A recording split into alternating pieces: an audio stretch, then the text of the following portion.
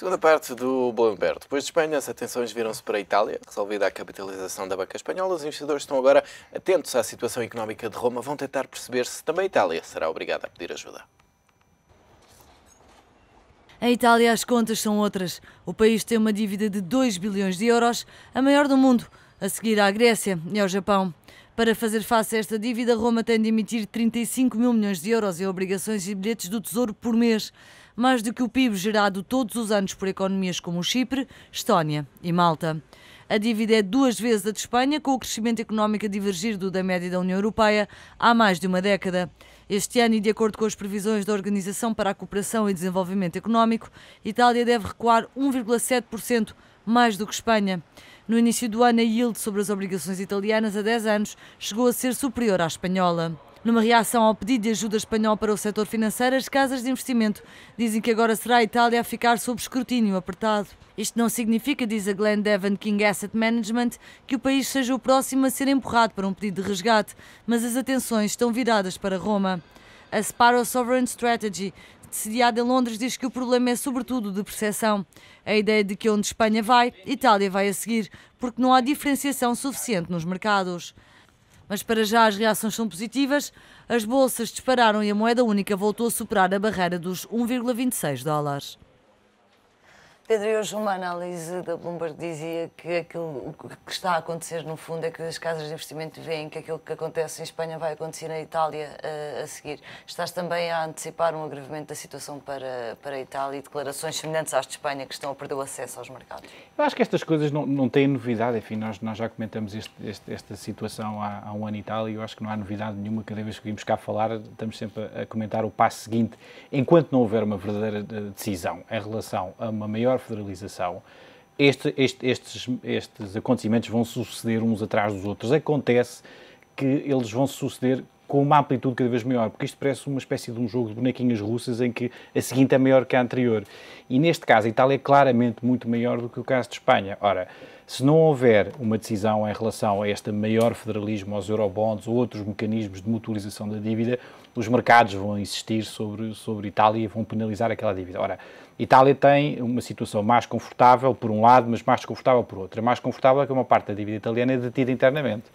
E isso é uma situação bastante mais agradável do que em Espanha. A coisa fica mais estancada, não é? Mais estancada. No entanto, o estoque da dívida italiana é, é, muito maior com respeito ao seu próprio produto do que, é no caso, do que é no caso espanhol. Estamos a falar de cerca de 125% do produto. E, portanto, é um caso muito maior e a dimensão é totalmente diferente. E, portanto, tem que haver aqui um mecanismo para tentar equilibrar, para tentar equilibrar estes, estes, estes ataques que vão sofrendo estas dívidas, porque os mercados vão acabar por atuar como um abutre atua sobre Mas uma, a questão do, do trabalho de casa que a Itália fez durante os últimos 5, 6 meses, isso não serve nada para certo, eu, eu, até acho que foi extraordinário. Por alguma razão, enfim, critica-se muito os tecnocratas no governo, mas se há uma coisa que tem falhado neste, neste, neste panorama europeu é qualidade ao nível da governação. E se nós estamos como estamos, e se os mercados já ditaram as suas sentenças, é porque os políticos que lá estão são francamente maus, tirando algumas exceções. No caso italiano, numa semana a situação ficou resolvida, ou seja, uma das maiores figuras de Itália uh, uh, foi afastada no espaço de uma semana. O, o governo foi reformulado no espaço de uma semana, implementaram-se medidas e muito rapidamente aquele primeiro ataque que houve ao mercado italiano foi totalmente dissipado com a implementação de medidas. Os espanhóis atuaram de forma diferente e neste momento estão provavelmente a pagar fatura por isso, porque de um ponto de vista político ganhou a ala política do PP e não a ala económica, porque em Espanha havia eleições regionais na Andaluzia, que o PP acabou por perder. E eles acharam internamente que era muito mais interessante manter uma política de, algum, eh, eh, de alguma acomodação em relação às medidas, deixar que isto passasse, tentar negar os mercados naquela arrogância muito típica espanhola e depois das eleições provavelmente iriam tomar algumas medidas sérias. Ora, uh, o brinquedo escapou-se-lhe das mãos e, e, os mercados não perdoaram. Ora, isto em Itália não aconteceu. E se isto não aconteceu, porque existe uma qualidade governativa uh, que não existia em Espanha. Enfim, em Espanha deixaram-se levar por estas questões políticas da Andaluzia, acabaram por perder a Andaluzia e neste momento tiveram que uh, cair do seu pedestal de orgulho e admitir que eh, vai haver uma intervenção, embora essa intervenção não seja ao nível da dívida soberana, porque, enfim, eles viram o que é que aconteceu com a Irlanda. A Irlanda primeiro endividou-se para ajudar os bancos e depois é que pediu ajuda, eles fizeram ao contrário, já viram como é que aconteceu com a Irlanda e dizem, não, nós não nos vamos endividar, vamos pedir primeiro mais barato e depois, através do FRO, vamos injetar nos vários bancos. E por isso falam disto como uma vitória. Fala, mas isso é a atitude normal espanhola, eu acho que não é. Tem muito mais a ver com uma questão, com uma questão eh, de, de social do que propriamente uma questão económica, porque de facto é um pedido de ajuda e é um pedido de ajuda que vai ser utilizado para recapitalizar bancos que estão numa situação francamente difícil. Enfim, eh, só para termos uma noção, em Espanha temos cerca de 2 milhões de casas vazias. No balanço dos bancos, como colateral de, como colateral de empréstimos à habitação, são cerca de 3,7 milhões de casas. Uh, em termos de crédito à construção e ao setor, estamos a falar de valores à volta dos 360 mil milhões. E o próprio Banco de Espanha estima que, em probabilidade de incumprimento, desse montante haja cerca de 160 mil milhões, ou seja, quase o PIB português. E, portanto, estamos a falar de uma dimensão bastante grande só no setor, do, só no setor, no setor imobiliário. Porque o que acabou por acontecer em Espanha foi que, num espaço muito curto, eles acabaram por consumir o consumo dos próximos 20 anos, em termos de crédito, em termos de construção. E, e... Houve até um estudo que dizia que se parassem de construir casas agora e que, tendo em conta as perspectivas de evolução da, da população, que em 2050 só ia que as casas iam ser todas uh, ocupadas, se não se construísse mais nenhuma. Precisamente, exatamente em relação ao que, eh, ao que estávamos a comentar anteriormente, o facto de não ter havido aqui um, um aumento das taxas de juros para travar este, este acontecimento, o que fizeram foi que o próprio mecanismo de mercado acabou por consumir e esgotar o recurso que podia estar ali para os próximos 20 anos. E, portanto, eles, num, num muito curto espaço de tempo, consumiram o crescimento uh, de, de, dos anos que vinham aí pela frente. E agora vão ter que pagar a fatura. E perante este cenário, com muitas dúvidas em relação à Espanha, com as eleições gregas à porta e com Itália já na mira dos investidores, o que é que os investidores podem fazer nesta altura? Apostar na volatilidade? Bem, apostar na volatilidade não é assim tão simples quanto isso. De qualquer das formas, deixem-me voltar só, uh, voltar aqui um bocadinho atrás. Uh, uh, apesar de tudo, todos estes casos são, são, são, são diferentes. Apesar de haver aqui problemas transversais, Itália teve nos últimos dois anos, super, já teve superávites primários. Portanto, é verdade que, o Sr. Monti conseguiu posicionar-se de forma muito assertiva. Aliás, ser o melhor que encomenda, porque rapidamente começou a fazer frente ao Sr. Sarkozy e à Sra. Merkel. Mas a verdade é que uh, o Berlusconi, enfim, naquele, naquele, naquele jeito pouco, pouco, pouco credível que ele tinha, a verdade é que não era ele o ministro, ministro das Finanças e, e, já algum trabalho uh, vinha a ser feito. Por outro lado, a Itália não tem o nível de desemprego que a Espanha tem, não tem os problemas estruturais que a Espanha tem, não tem um problema de regiões, uh, pelo menos da forma como, como, como a Espanha tem, um, e, sobretudo, é uma economia mais industrializada onde o peso das exportações também é, é superior do que, ligeiramente superior ao, ao espanhol. Qualquer das, e, e a, a, poupança em liquidez é 400 ou 500% da, da dívida pública. Uh, isso é importante, lá está, porque grande parte do estoque de dívida pública está uh, uh, na poupança e, mantido pela poupança italiana, eh, um pouco à semelhança do que acontece no Japão. É um caso eh, onde não houve especulação imobiliária e, e, e, provavelmente a Itália é o paradigma daquilo que vai-se ter que passar na Europa. Ou seja, Itália, na Itália existe uma coisa que é o matrimónio italiano, onde basicamente o norte da Europa sustenta o sul da Europa. E, e basicamente é isso que se vai passar, ou vai-se ter que passar, numa, a uma escala, uma escala mais macro na própria, na própria zona euro. Ou seja, eh, podemos falar de união, bancária, eh, depois união fiscal com eurobonds ou qualquer outro nome. Uh, mas a verdade, e até transferências garantidas intergovernamentais dos Estados que geram superávites para os Estados que são naturalmente ou normalmente deficitários, tal como se passa na Itália, regiões norte, sul, tal como se passa em Portugal, onde há transferências garantidas para, para, para as regiões autónomas, por exemplo. É esse isto, o plano que tranquiliza os mercados, é, é, é, dizer isso. É único, é único, porque isto são pensos rápidos, não é? é nunca estamos à frente da curva, não é? Os investidores vão estar sempre à frente. Enquanto não se caminhar, ou não se caminhar rapidamente para a, a, a resolução dos problemas estruturais, os problemas estruturais estão, estão muito evidentes, estão identificados, são os desequilíbrios. Os desequilíbrios foram também criados pela rigidez monetária que existe dentro da zona euro e têm que ser compensados de alguma forma. No final, no final do dia, aquilo que, aquilo que os países mais ricos vão ter que fazer conta, as contas é vão pagar, vão pagar para ver uma desagregação do euro ou vão pagar para não ver uma desagregação do euro. Eu penso que a racionalidade vai imparar e vão pagar para que o euro não se desagregue e vai começar já pela Grécia. Embora quando chegamos à Grécia eh, as coisas já não estão propriamente nas mãos da, Europa, não é? Eh, a galinha já saiu da capoeira, neste caso. É completamente incontrolável o resultado das eleições, ainda por cima, à luz dos últimos acontecimentos, com violências, e normalmente nós sabemos qual é o impacto que isso tem eh, a nível de eleições, com elementos da extrema-direita a agredir eh, elementos da esquerda, em termos eleitorais, isso normalmente paga-se caro na, na, nas urnas E a verdade, mas a verdade é que também o próprio Siriza, que tem, tido, tem, sido, tem sido a voz mais reclamante, eles próprios não querem saída do euro. Nunca vi ele dizer que quer sair do euro. Sim, quer disse mesmo o contrário. E, portanto, quer, quer a Grécia sair, a Grécia sair pode ter um preço incalculável, pode ser contido, mas pode ter um preço incalculável. A Grécia manter-se no euro tem um preço mais ou menos mejorável. 200, 300 bilhões resolve-se o problema. Agora, até que ponto é que a Europa está disponível para pagar a fatura e para passar o cheque, é que não sabemos.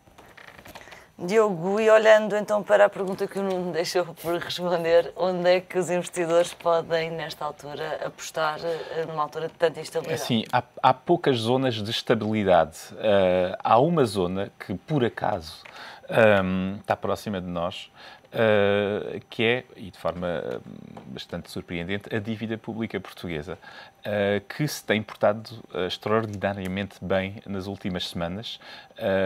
temos taxas de juros que continuaram a baixar a, a, semana passada, esta, este início de semana ainda, o que significa o quê? Significa que passámos de uma situação de uma dívida que estava basicamente a ser transacionada a nível internacional uh, por investidores institucionais, essencialmente, a uma dívida que passou a ser transacionada essencialmente, ou em grande parte, a nível nacional, uh, pelos próprios bancos uh, e por particulares. E, portanto, é um bocadinho o que estávamos a falar em relação à Itália passámos, no caso da dívida portuguesa que, que, está a ser transacionada, a uma situação basicamente de uh, endógena, onde, uh, onde, onde, está tudo sob controle. Basicamente já não dependemos dos acontecimentos uh, externos e da entrada e saídas de investidores externos, porque esses já estão completamente fora da, da nossa dívida.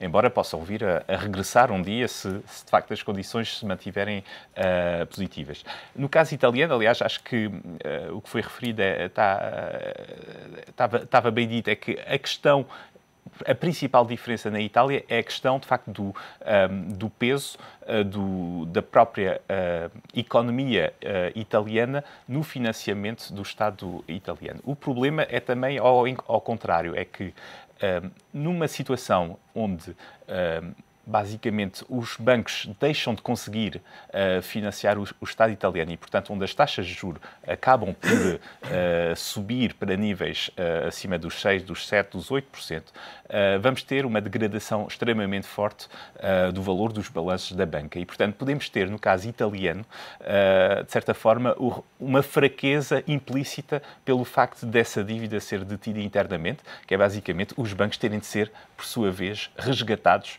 uh, caso as taxas de juros se mantenham uh, a níveis elevados. E, portanto, é por isso que o BCE eh, deve assegurar, no caso espanhol e no caso italiano, um, um, um, limite, digamos, à subida destas taxas de juros para evitar que o Estado, que agora está equilibrado em termos de, de contas públicas, tenha a vir a ter um, um custo suplementar para resgatar o seu setor financeiro.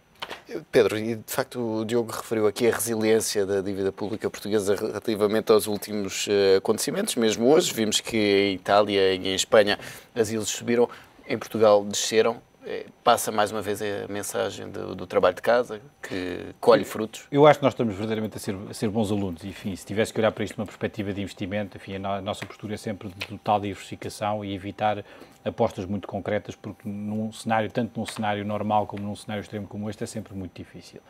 No entanto, olhando para esta situação da Europa e olhando para isto como um CDO gigante, eu neste momento estaria exatamente a tomar a posição contrária, ou seja, estaria a vender a trans AAA, que muito provavelmente vai ter que sofrer um downgrade porque vai ter que pagar a outra que cá está em baixo, e estaria a comprar a trans de mais risco. Isto olhando apenas num cenário europeu. Mas Estás a dizer, então, para, para os investidores se desfazerem de bundes, por exemplo? Por exemplo, enfim, estar a comprar dívida, dívida uh, suíça, por exemplo, neste momento é um yield negativo. É? Quer dizer, a dívida alemã está a pagar um, um, um yield de zero. E, portanto, isso não é sustentável. Normalmente são situações muito pontuais, têm a ver com, com stresses no sistema. Mas dando dois exemplos concretos da semana passada, enfim, estando a falar com investidores internacionais, porque eu achei até bastante curioso, um deles foi o próprio Hermínio Fraga, antigo governador do, do, do Banco do Brasil e gestor de um dos maiores fundos brasileiros, quando lhe questionaram em relação à situação europeia, ele deu Portugal como, enfim, nem se referiu a Portugal, ele referiu-se os nossos avós, são aqueles que estão a cumprir de facto, são aqueles que estão a cumprir de facto o, o, o que tem que ser feito e é claramente o bom aluno europeu é Portugal e deu Portugal como exemplo. E outro até bastante caricato, falando com investidores de, de dívida alto risco brasileira, que, brasileira, enfim, dívida alto risco de mercados emergentes, aquilo que mais conhecido por high yield mercados emergentes, que não pararam a reunião inteira de me perguntar sobre dívidas emitidas em Portugal e sobre dívida portuguesa. E, portanto, chega uma altura onde uh, os ativos começam a atingir determinados valores que tornam-se interessantes para quem queira estar a tomar risco. E se em cima disso tivermos uma governança boa e positiva, isso traz conforto para o mercado. E, portanto, eu acho que a, a posição de, de, de Portugal como país e dos ativos que cá já estão bastante descontados, essa posição é uma posição que saiu bastante reforçada de todo este cenário. Um, porque já temos garantido esse mesmo financiamento. Dois, já tomámos as medidas. E três, temos um historial de seriedade no mercado que a Grécia nunca terá, uh, comportando-se da forma como se tem. Como Era se uma tem boa altura para um roadshow. Para um Claramente uma altura para um bom roadshow. Eu acho que o Governo está a fazer um muito bom papel, tanto o Governo como o ICEP, na representação de, daquilo que são as nossas empresas lá fora. E vamos claramente atrair investidores de este mercado, porque é algo que nós não temos. Nós precisamos urgentemente de capital e felizmente que existe muito capital disponível para investir cá porque estamos a tomar as medidas certas. E fechamos este Bullenberg com essa nota um pouco mais positiva sobre a evolução da dívida pública portuguesa. Na próxima semana cá estaremos com o rescaldo das eleições na Grécia e as consequências que isso terá para os mercados financeiros. Até lá, boa semana. Boa semana.